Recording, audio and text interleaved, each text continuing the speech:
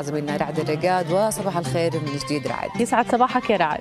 معنا رعدين وهبتين ضلانا كمان وحدة. لا أنا بس وحدة. بس وحدة. صباح الخير لانا وهبة صباح الخير لكم. يسعد صباحك رعد. يلا خلينا نشوف شو محضرينا لليوم والهوا معك من جديد. أشكرك لانا أشكرك هبة. دائما أكيد زي ما تحدثنا في صباحات اليوم وصباح برنامج يوم جديد.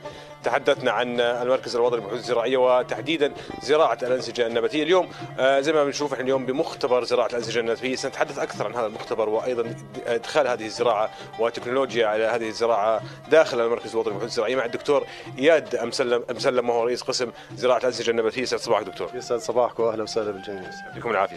أهلا وسهلا. دكتور نتحدث بالبداية عن زراعة الأنسجة النباتية. بتعريف عام بالبداية ما هي زراعة الأنسجة النباتية؟ يعني زراعة الأنسجة النباتية بجوز أغلب المشاهدين بي- بيعرفوا أو بيسمعوا عن أطفال الانابيب لكن نباتات الأنابيب يمكن البعض أول مرة بسمع عن هذه التقنية. هي عبارة عن أخذ جزء صغير من النبات وضعه في أوعية زجاجية على مادة تدعم نمو هذا النبات وهو يعني آه، على شكل جل نحط من خلال هذا الجل كل العناصر الغذائية اللي بيحتاجها النبات لأنه إحنا الجزء اللي بنأخذه طبعا إحنا مش محكومين بأي جزء ممكن نأخذ من النبات ممكن نأخذ ورقة ممكن نأخذ جزء من ورقة ممكن نأخذ برعم ونحطه على هاي البيئة اللي بتدعم نمو هذا. هناك مراحل لهذه لهذه العملية. المراحل بالتفصيل آه، أول. استغلال الوقت دكتور أنا حاب الآن معك والمشاهدين بعض المراحل الموجودة داخل هذا المختبر آه، أول أول مرحلة بمر فيها برحلة آه، النبات هي تقطيع النبات يعني بتم تقطيع هذا النبات إلى أجزاء وهي الأجزاء بناخذها على أساس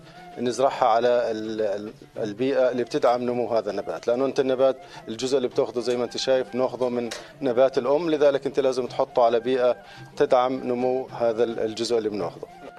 يعني أيضا المرحلة الأخرى دكتور نشوف في هذا المكان. إحنا حكينا يعني إنه بدنا الآن إن نحط بيئة تدعم نمو هذا النبات وبالتالي هون ال- ال- المهندسه حياه قاعدة بتحضر بيئة آه، بتساعد لنمو هذا النبات وإكثاره. يعني زي ما شايفين إحنا بنحاول نحط كل ال- العناصر اللي بيحتاجها النبات من بنحط أكثر من 16 عنصر مغذي للنبات. وطبعا هون تكمن سر يعني زراعة الأنسجة النباتية لأنه كل نبات بيحتاج إلى بيئة خاصة وبالتالي يعني كل بعض النباتات يعني نحتاج أكثر من سنتين حتى نحصل على شو البيئة المناسبة له وشو البيئة اللي ممكن يعيش آه، عليها. فهون زي ما إحنا شايفين قاعدين بنحضر البيئة المناسبة للنبات. رايحين ننتقل الآن للمرحلة الثانية وهي زراعة النبات على الأنابيب. هون زي ما شايفين يعني إذا سمحت لي دكتور يعني هون مرحله إحنا زي ما بنشوف هي نسميها غرفة عمليات آه، بنحكي صح؟ بالضبط طبعا. إحنا عندنا هون غرفة العمليات يعني هاي أشبه ما تكون بطاو- بطاولة العمليات بكون فيها مشارط بكون فيها مواد للتعقيم بكون فيها ال- الأوعية اللي جاهزة اللي بدنا نزرع عليها النباتات. طبعا آه، اي يعني آه، كل المواد بتكون جاهزة للزراعة. دكتور بعد إذنك بعد هاي المرحلة إذا سمحت يعني بعد هاي المرحلة. بعد مرحلة بعد مرحلة الزراعة ووضع النبات في ال- الأنبوب يعني هون بنشوف بنشاهد الآن السيدة سميحة راح تقوم بإخراج جزء من النباتات. طبعا ميزة زراعة الأنسجة النباتية هي أو قدرتها على الإكثار. يعني إحنا بنلاحظ الآن نأخذ قاعدين جزء صغير من النبات وكل نبات الآن طلعته راح يتم زراعته على آه، وعاء جديد وبالتالي راح يكون في عندنا يعني كل نبات راح يطلع لي أقل شيء 10 نباتات. فأنت بتحكي عن آه، مضاعفات متوالية وهنا تكمن قوة زراعة الأنسجة النباتية بالكم الهائل اللي ممكن تنتجه من النباتات. إحنا بنشوف هاي المادة دكتور هي الشمع أنت تحدثت بها اللي هي اللي آخر شيء بال بال- هذا المرتبة. هي مادة تشبه الجل طبعا هي مكونة من آجار والعناصر الغذائية اللي تدعم نمو هذا النبات. يعني هذا النبات الآن حطيته في بيئة مناسبة جدا جدا لنموه. بالتالي راح يكون يتضاعف ويكثر حجمه بشكل كبير جدا.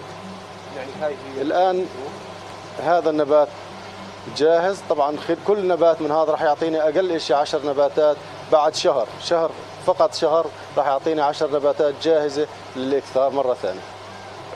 المرحلة الثانية دكتور. بعد هيك. لازم نحط النبات في بيئة يعني تكون مناسبة له. آه، من ناحيه من ناحية الإضاءة من ناحية درجة الحرارة. بن- بنشوف الأجواء حامية شوي هون يعني حراره درجة حرارة مرتفعة أيضا. إحنا الآن بنركز شوي على أكثر شيء نبات النباتات الاستوائية زي الأناناس وزي الموز. نعم. وبالتالي ال- البيئة اللي إحنا حاطين فيها تقريبا درجة حرارة 28 ل 29 درجة مئوية لأنه النبات لازم يكون ضمن آه، درجة حرارة مناسبة ضمن إضاءة مناسبة وضمن كمان تكون الرطوبة مناسبة له حتى ينمو ويتكاثر بشكل كبير جدا.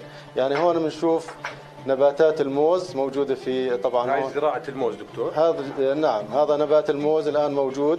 هذا أحد الأصناف اللي كان أحد المزارعين بيرغب بإكثاره بشكل كبير جدا وبالتالي كان في تعاون معنا ومع المزارع لإكثار هذا الصنف آه، من خلال مختبر زراعة الأنسجة النباتية. وإحنا بنشوف هون دكتور هاي يعني من التقنية- هاي- بدي كم المدة اللي صار لها بهذا الانبوب أو هاي يعني هاي النبات اللي موجود الآن مزروع هون صار له أكثر من ثمان شهور طبعا موجود وتكاثر. يعني كان حجمه صغير جدا جزء صغير الآن بتكاثر. يعني كمان بعض التقنيات الآن صارت تستخدم في نباتات الزينة ولتجميل آه، المكاتب أو المناطق اللي ممكن تزرعها.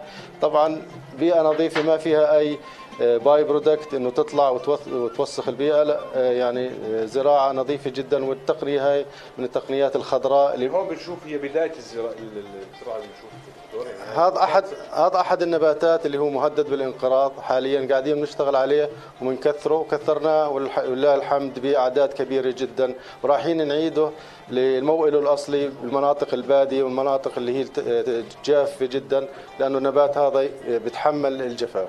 نعم. طيب يعني أيضا دكتور آه، بنشوف آه، بعض ال- ال- ال- النباتات الموجودة هي مهددة بالانقراض في هذا في هذا المكان. إحنا بنشتغل على نبات مهدد بالانقراض ما فيش غير شجرتين الآن موجودة في الأردن لكن إحنا بحمد الله قدرنا إنه نكثره باعداد كبيرة ورايحين نعيده لموئله الأصلي. بعض النباتات كمان نباتات الزعتر اللي هي بلشت تتراجع كمان والموجودة في البادية الأردنية حاولنا نحن نكثرها ويعني في الآن أعداد كويسة راح يتم إطلاقها مرة أخرى في البادية الأردنية. تحدثت عن صنف الأناناس أو فاكهة الأناناس الموجودة عندنا في هذا في تعاون مع أحد المزارعين اللي كان بيرغب بالاستثمار في آه، زراعة الأناناس لكن ما وجد بالسوق آه، نباتات كافية. لذلك كان في تعاون بيننا وبينه لإنتاج الأناناس يعني بجوز الكمية هاي اللي بتلاحظوها الآن أكثر من 7000 نبات موجود في في غرفه هذا المكان 7000 نبات. طبعا بالأناناس بس في النباتات الثانية لسه أكثر. يعني في عندك أكثر من 10000 نبات موجودة في مساحة صغيرة وهي من ميزات زراعة الأنسجة النباتية إنك بتوفر بالمال بتوفر بالجهد وكمان مساحه صغيرة جدا ممكن إنك تنتج أعداد كبيرة جدا. دكتور إحنا بنحكي للمشاهدين إنه هاي مش آخر مرحلة. يعني إحنا اليوم في مرحلة أخيرة أيضا اليوم هذا النبات ينزل على على ال- ال- الحقول تحديدا.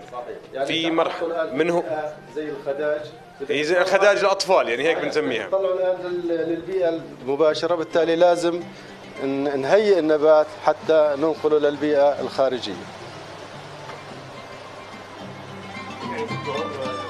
رايحين ننتقل إحنا وياكم للجزء الثاني اللي هون. رايحين نجهز النبات الآن من خلال آه الآن النبات موجود داخل الأنابيب اللي كانت موجودة بالحاضنة رايحين نطلعه. هون ما بعد المرحلة الأخيرة ما بعد. الكاميرا لو سمحتي لو سمحتي لي على الكاميرا؟ هون على الكاميرا أيوه. بيتم إزالة طبعا الجزء اللي هو موجود بالجل. يعني الجل الآن بنتخلص منه لأنه بدنا نهيئ النبات للبيئة الخارجية. وبتم زراعته على بيئة يعني إحنا بنحضرها زي هون شايفين خلطة من البيتموس والبيرلايت الناس الآن النبات يعني آه، يعني بنشوف عمليات حديثة ومطورة على الزراعة غير التقليدية دكتور إياد مضبوط نعم صحيح. يعني هاي من ميزات ال- اللي إحنا بنحاول إنه ننقلها كمان للمزارعين وللمستثمرين. يعني لازم الاستثمار يكون موجود في هيك جاهزة تنزل على الحقول دكتور؟ الآن بتقعد أسبوعين عندنا بالمختبر في هون في الغرفة الثانية. نعم. هاي بنسميها غرفة الاقلمه يعني تفضل دكتور. هون إحنا داخل آه، غرفة الاقلمه هاي الغرفة الآن آه، يعني موجود النبات مثلا زي نبات هذا الأناناس. قاعد تقريبا أسبوعين. الآن جاهز لإخراجه وإنتاجه يعني للمزارعين. كمان هذا النبات اللي حكينا عنه إنه مهدد بالانقراض. زي ما شايفين الآن في نباتات موجودة لنقلها وزراعتها في البيئة الأردنية. نعم. يعني دكتور إياد أنا بدي أشكرك وأشكر جهودكم هاي الجبارة بصراحة للحفاظ على بعض ال- الزراعات اللي مهددة بالانقراض تحديدا. وأيضا بعض وإدخال بعض التكنولوجيا الموجودة آه، في هذا المختبر لزيادة آه، أعداد النباتات. بدي أشكرك ورسالتك الأخيرة الآن إلى كل أعزائنا المشاهدين دكتور. يعني إحنا بندعو كل الم- المستثمرين يعني إحنا بنعرف إنه ال- ال- الأردن محدودة في الموارد المائية محدودة في الاراضي القابلة للزراعة. لكن من خلال هذه التقنيات تقنية زراعة الأنسجة النباتية أنت ممكن تنتج وتنتج بأعداد كبيرة وتدخل يعني استثمار وعملة صعبة للبلد.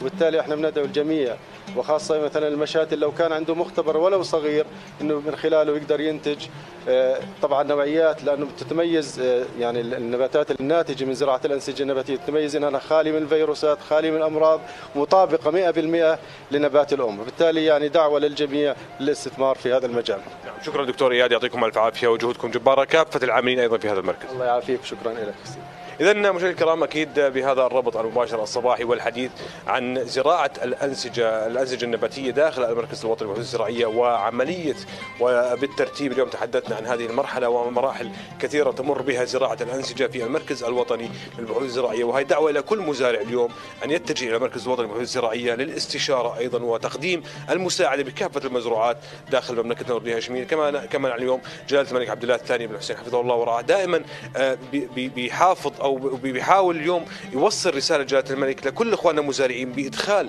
ت- التكنولوجيا في الزراعات الحديثه والمتطورة تحديدا في كافة مناطق المملكة. الآن عودة إلى هبة ولانا لاستكمال فقرات برنامج يوم جديد. يعطيك ألف عافية رعاية تحياتنا أكيد لضيوفك الكرام وتحياتنا إلى مركز البحوث الوطني للزراعة